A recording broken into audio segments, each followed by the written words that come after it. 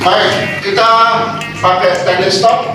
Silakan lepaskan semua pulpen dan pekerjaannya. Baik, selanjutnya duduk bersandar, tegak, tegak, tegak, dan kakinya luruskan ke depan. Kenakan jari-jarinya ke semen.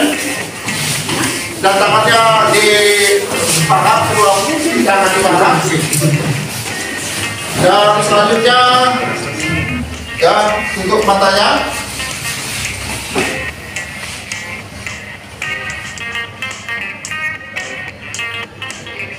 Selanjutnya hirup. Udara pakai hidung dan keluarkan dari mulut hirup pelan-pelan. Keluarkan dari mulut rasakan. Keluar udara dari perut sehingga perut kembang kubis dan sambil dengarkan suara-suara di samping ataupun sekitarmu suara burung dan sebagainya dan suara di samping kelas.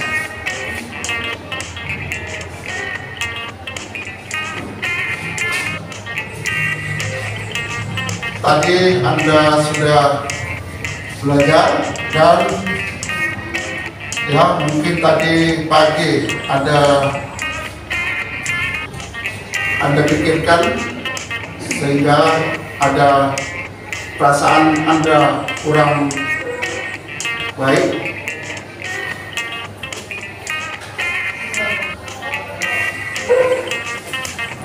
Baik selesai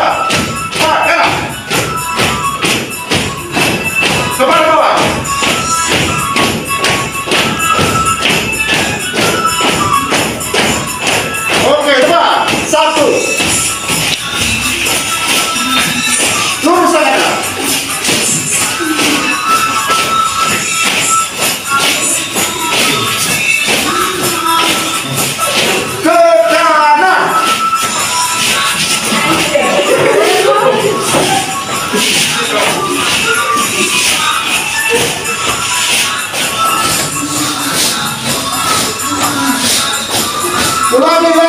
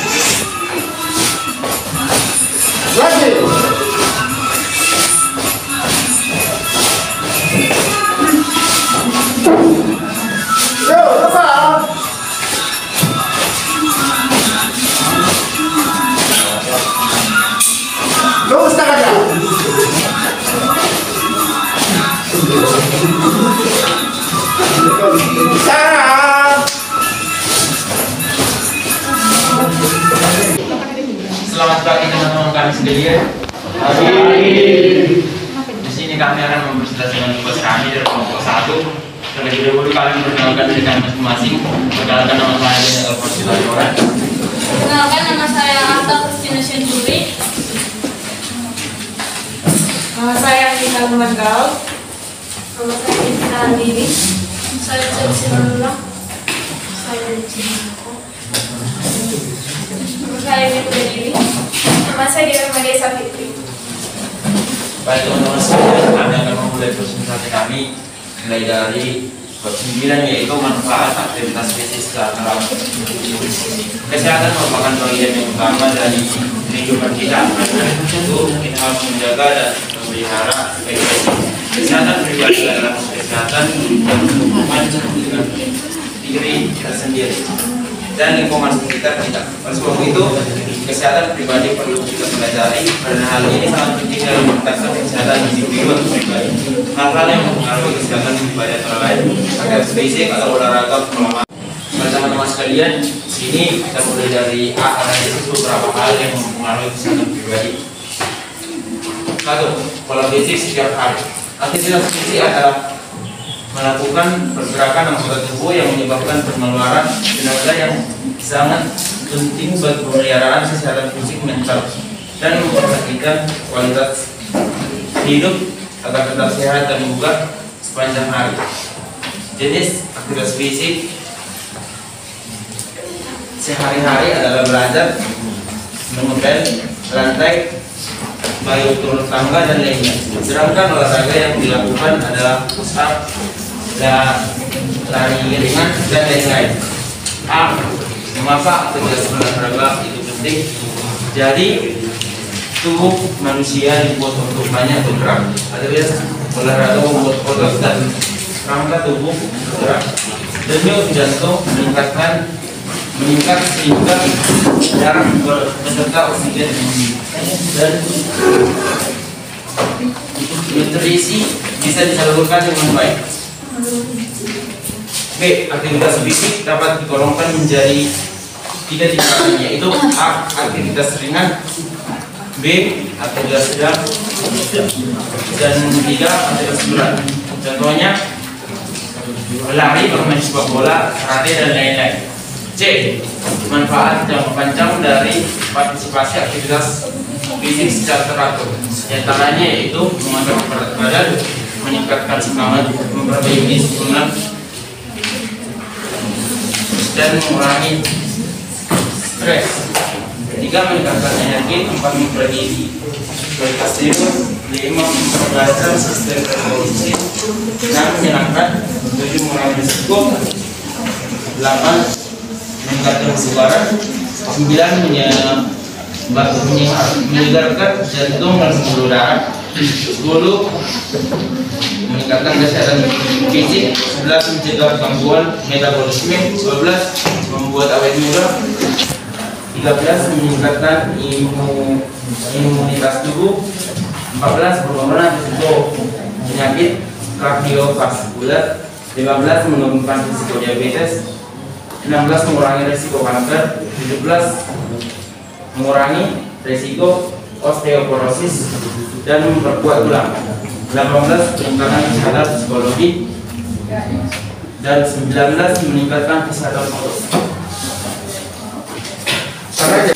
Bagian D aktivitas fisik olahraga yang benar. Menurut pakar olahraga, olahraga tak hanya seperti pakaian olahraga sifatnya lebar artinya disesuaikan perorangan dan tujuannya. Ada tiga cara untuk mengetahui apakah olahraga yang kita lakukan tidak. Yang pertama, cek denyut nadi setiap pagi ketika bangun tidur. Denyut nadi rahmat adalah 60 kali per menit. Yang kedua, apa yang kita rasakan ketika bangun pagi. Jika badan terasa sakit dan malam jadi malas beraktivitas berarti ada yang salah. Ketiga, lakukan pemeriksaan tekanan darah dan suhu tubuh dengan rutin selalu bertimbang hasilnya sebelum dan sesudah olahraga. Eh, porsi atau tekanan aktivitas fisik olahraga. Para pakar olah- olahraga menyarankan bagi orang dewasa yang sehat untuk mendapatkan dua dua setengah jam latihan aerobik umum setiap minggu. Kemudian jika mendapatkan layanan penguatan otot untuk yang dua hari atau lebih. Penyakit kronis yang bisa muncul disebabkan kurang aktivitas fisik olahraga. Satu, tekanan darah tinggi. Dua, sin- sindrom metabolik. Tiga, masalah kesehatan tulang dan otak. Empat, berisiko terkena kanker ganas. Lima, sakit jantung. Enam, obesitas. Tujuh, diabetes tipe 2. Delapan, depresi. Dan kebiasaan makan. Cara yang kelompok orang untuk memilih makanan dan sebagai reaksi terhadap pengaruh psikologis, budaya, dan sosial. Pola makan memiliki tiga komponen penting yaitu jenis, frekuensi, dan jumlah bicara tentang jenis. Di Indonesia mengenal pola makan pokok, lauk hewani, sayur dan buah, sedangkan frekuensi sangat tergantung kelompok ini di atas satu tahun. Kalau frekuensi makan adalah tiga kali makanan utama, dua kali makanan ringan.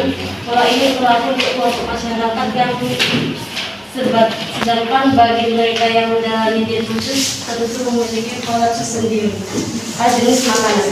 Jenis makanan berhubungan zat gizi yang terkandung dalam makanan tersebut. Ada lima macam zat gizi utama yaitu karbohidrat, hidrat, arang, lemak, protein, vitamin, dan mineral. Selain itu terdapat pula dua zat gizi lagi yaitu air dan oksigen. Kedua zat ini sering kali tidak disadari peran pentingnya bagi tubuh dan bagi makhluk hidup yang lainnya. Frekuensi makanan. Frekuensi makanan adalah jumlah makan dalam sehari hari baik kualitatif dan kuantitatif. Secara alamiah, makanan diolah dalam tubuh melalui alat-alat pencernaan mulai dari mulut sampai usus halus. Lama makanan dalam rambut makanan. Jika rata-rata umumnya rambut kosong antara 3 sampai 4 jam, oleh karena itu pembagian jam makan yang tepat adalah satu pada jam 4 pagi jam jam 12 lambung bekerja untuk membuang kotoran dua pada jam 12 sampai 20 adalah saat di mana tubuh kita menyerap makanan yang dengan baik. Tiga pada jam 20 sampai jam 4 adalah waktu di mana tubuh kita mencerna makanan. C. Jumlah makanan. Sejumlah makanan tergantung dari kandungan jumlah kalori dalam setiap makanan yang kita makan. Kandungan kalori di dalam kandungan kalori dalam setiap makanan yang kita makan. Jumlah kalori, kalori dalam makanan sebaiknya disesuaikan dengan kebutuhan tubuh kita.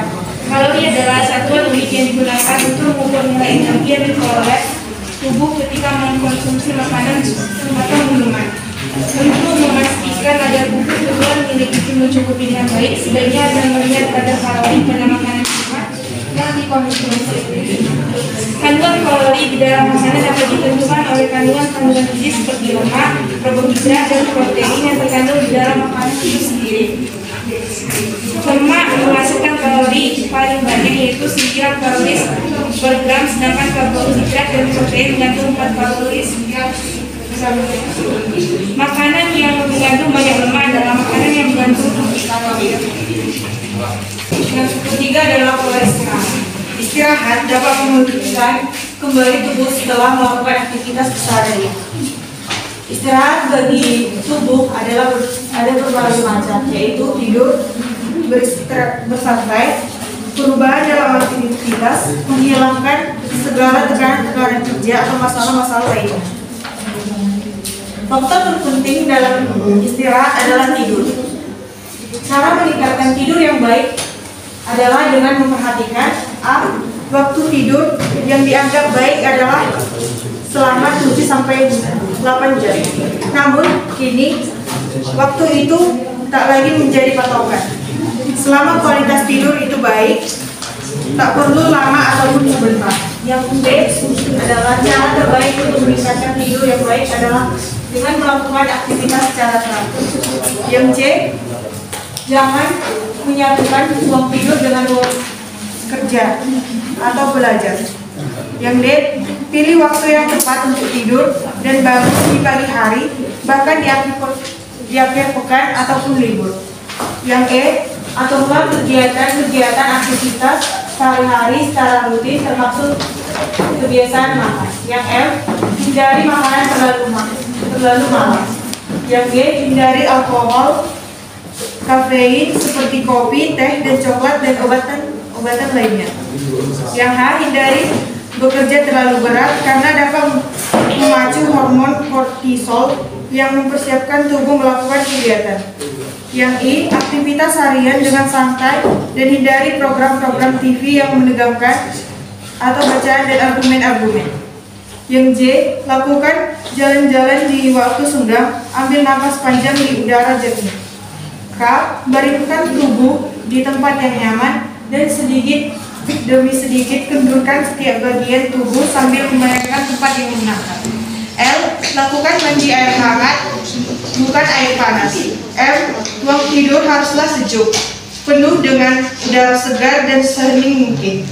N, lakukan pastikan cukup mengonsumsi magnesium dan kalsium, mineral yang dapat membantu menghilangkan stres dan mencegah depresi. Yang O, lakukan latihan-latihan penenangan untuk menenangkan pikiran. Yang P, jika belum bisa tidur, jangan berlama-lama berbaring di tempat tidur. Lebih baik bangun dan aktif, lakukan aktivitas lain. Hindari tempat tidur sebelum merasakan tergantung. Tidur dapat memulihkan sel-sel otot, hati, ginjal, tulang, sumsum, perut, dan otak. Tidur juga mempersiapkan kecepatan, akurasi, dan efisiensi secara fisik dan mental. Yang keempat, penyakit. Penyakit adalah suatu keadaan tidak normal dari tubuh atau pikiran yang menyebabkan ketidaknyamanan, difungsi atau kerusakan terhadap orang yang dipengaruhi. Penyakit dibedakan pada penyakit menular, penyakit tidak menular, dan penyakit kronis. Penyakit menular adalah penyakit penyakit yang menyerang tubuh manusia disebabkan oleh kuman yang menyerang tubuh manusia. Kuman dapat berupa virus, bakteri, amoeba, dan jamur. Beberapa jenis penyakit yang menular adalah antraks, beduk, berenjan, beri-beri, cacingan, cacar air, campak, cinggungan, dem, demam campak, demam berdarah, demam berdarah, diare, disentri amoeba, dan lain-lain. Penyakit tidak menular adalah penyakit yang tidak disebabkan oleh kuman tetapi disebabkan karena adanya problem fisiologis atau metabolisme pada jaringan tubuh manusia. Penyakit-penyakit tersebut contohnya adalah batuk, sariawan, sakit perut, dan sebagainya. Penyakit kronis adalah penyakit yang berlangsung sangat lama. Beberapa penyakit kronis yang sering menyebabkan kematian kepada penderitanya antara lain AIDS, serangan jantung, kanker, stroke, diabetes, dan lain sebagainya. Yang kelima, kebiasaan buruk bagi kesehatan. Ada beberapa kebiasaan buruk yang dapat berpengaruh terhadap kesehatan atau dapat mengakibatkan gangguan pada kesehatan. Kebiasaan itu adalah A. Merokok atau mirip dengan perokok. Waktu untuk tidur tidak cukup C. Konsumsi alkohol D. Malas untuk berolahraga E. Memiliki teman dengan kebiasaan yang buruk F. Bekerja ketika sakit G. Stres dan depresi H. Tidur mengganggu I. Kurang bersantai J. Tidak percaya pada diri sendiri dan rendah diri J. K. Memegang sakit biasanya sering dialami oleh wanita yang sibuk bekerja L. Berlama-lama menonton TV, duduk selama berjam-jam di depan televisi dapat meningkatkan risiko serangan jantung dan stroke bahkan walaupun jika ada berolahraga secara teratur. M. Meminum minuman berkarbonasi atau soft drink, coke, soda, minuman bersoda dan coca-cola. N. Makanan berlebihan berat badan merupakan faktor risiko utama untuk penyakit jantung dan mengalami kegemukan atau obesitas. Yang B. Aktivitas pembelajaran dengan program aktivitas teratur. Satu melakukan perencanaan aktivitas fisik olahraga yang teratur. Aktivitas jasmani atau olahraga teratur dapat dilakukan yang menggunakan prinsip frekuensi, intensitas, time dan A. Frekuensi B. Intensitas C. Waktu atau time D. Tipe aktivitas yang melakukan sit up atau kelas. Dua mengatur perencanaan makan dengan menghitung kebutuhan kalori harian tubuh. Pola makan dapat diatur sesuai dengan kebutuhan tubuh. Oleh karena itu diperlukan cara untuk menghitung asupan kalori ke dalam tubuh agar efektif digunakan sebagai energi penggerak tubuh. Penghitungan kebutuhan kalori dapat dilakukan dengan cara sebagai berikut. A. Hitunglah angka metabolisme basal atau AMB rumus AMB sama dengan 0,9 kapal kali berat badan atau dalam kilogram kali 24 jam. B. Hitunglah kebutuhan energi harian yaitu mengalihkan AMB dengan variabel dari fisik yang dilakukan secara dilakukan secara teratur. Aktivitas dan variabel yang dilakukan sebagai berikut adalah satu ringan atau dengan 1,55 dua sedang sama dengan 1,70 tiga berat sama dengan 2,00 C mencontoh menghitung kalori sebagai peserta didik dengan ringan atau sebagian besar waktunya dihabiskan dengan belajar dengan komputer. Berat badan A adalah 60 kg untuk umur 16 sampai 17 tahun. Beberapa kebutuhan energi harian dari A yaitu AMB sama dengan 0,9 kakak kali 60 kg kali 24 jam sama dengan 1296 sekian persentase saya eh, sekian persentase kami dari kelompok satu. Terima kasih. Ah, baiklah teman-teman sekalian. Kalau ada pertanyaan yang ingin disampaikan bisa ditanya dari kelompok 2 pertanyaan saya adalah tuliskan penyakit arti dari penyakit menular dan beberapa jenis penyakit yang menular Lanjut kedua, langsung. Bagaimana cara untuk menghitung angka metabolisme basal?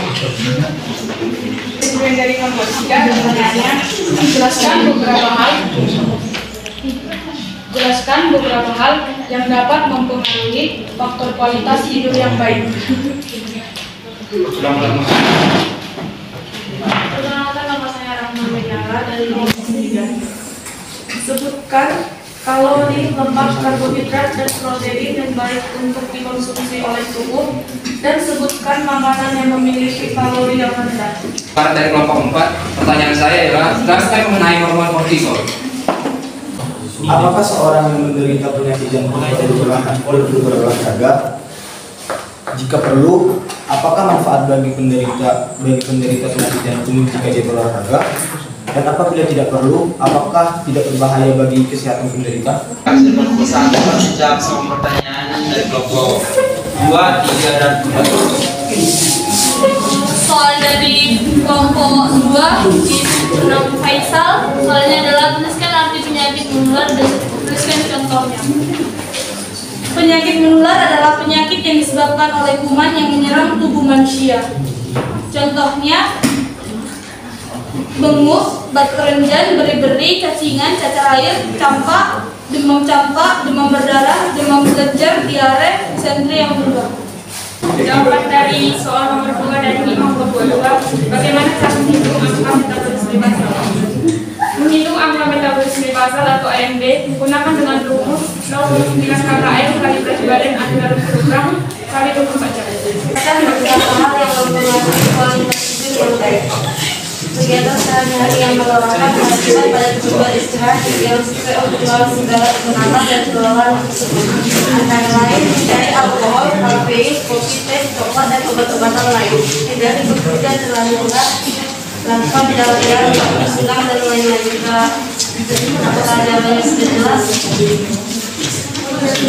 kelompok 3 Kelompok tiga, jawabannya sudah jelas?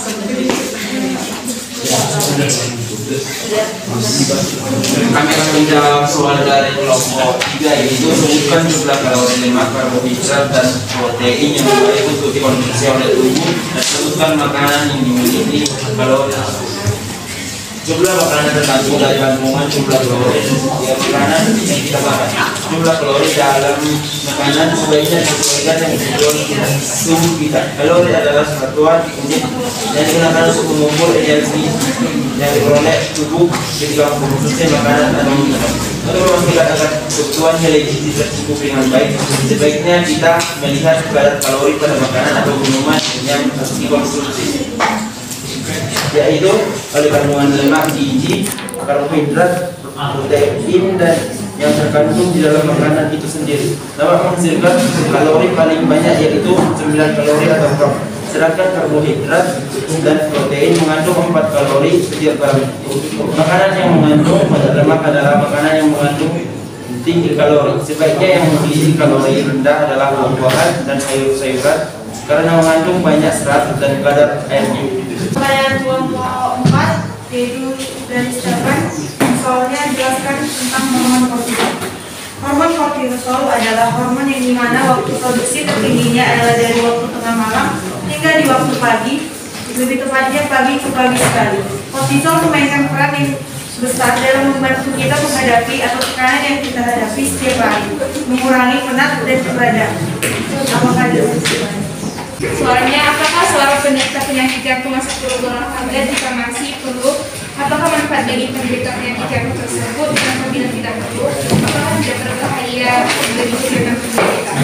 Olahraga membantu menurunkan kadar low density lipoprotein atau LDL atau kolesterol jahat dan meningkatkan kadar kolesterol high density lipoprotein atau HDL atau kolesterol kolesterol baik yang membantu melindungi kita dari penyakit jantung. Kadar LDL tinggi juga berisiko penyakit berbagai penyakit kardiovaskuler.